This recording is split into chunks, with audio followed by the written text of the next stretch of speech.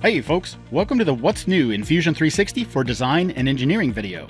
This is the November 2022 release, where we've introduced a cornucopia of new updates to keep improving our user experience. Thanks for joining us. Let's get to it.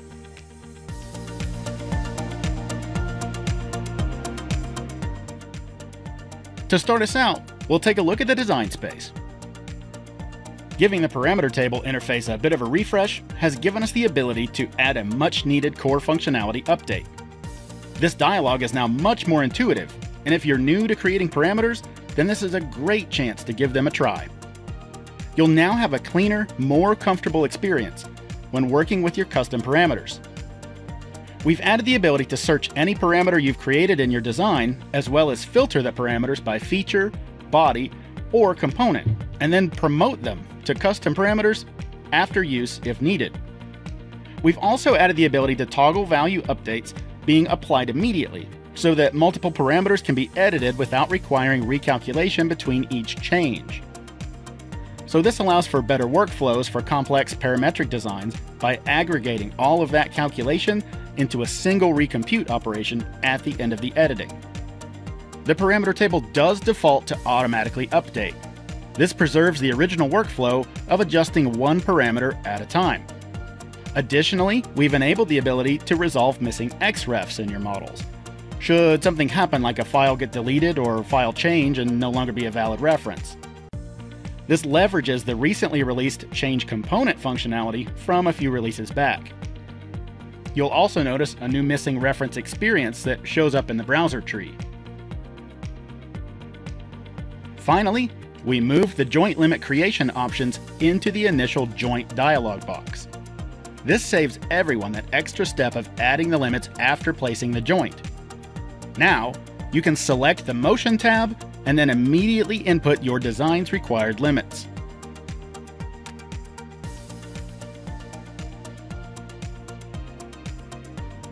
Next, we have a couple of updates in the drawing space. Adding advanced printing controls to the interface is something we've always been excited about. On the back end of this printing update, you now have the ability to pull printers and paper sizes directly from your operating system, whether you're on Mac or Windows. The print dialog itself now allows you to print drawings at any scale, multi-sheet print, add offsets, dynamically preview the sheet names, control print ranges and orientation, as well as any other thing that you really desire when it comes to printing and plotting within Fusion 360. Also new this release is the duplicate sheet option. This command creates a duplicate sheet within the same drawing file. You might use this command when creating documentation that covers both dimensions and installation information like fastener torques or paint.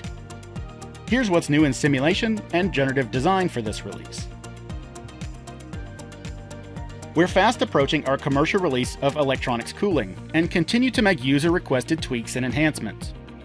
For this Fusion 360 update, we're excited to show off the new results environment for e-cooling. You'll notice this is a similar look and feel to the injection molding results view and includes a guided result with some design advice based on the temperature threshold specified during setup. The granular results are also available with both air and solids now broken apart for even more detailed views.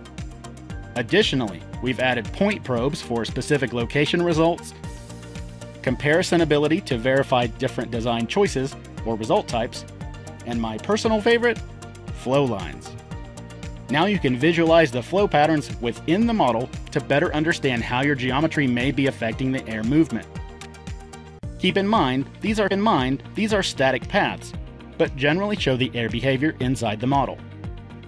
As always, because this is a preview feature, things may continue to shift and change, but we think you'll be pretty pleased with the results experience.